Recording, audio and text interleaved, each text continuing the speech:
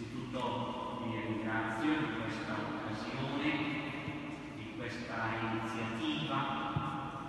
Credo che una necessità che abbiamo è di prendere iniziativa. La più normale diventa faticosa, diventa, si conquista poco a poco, si impara a respirare poco a poco.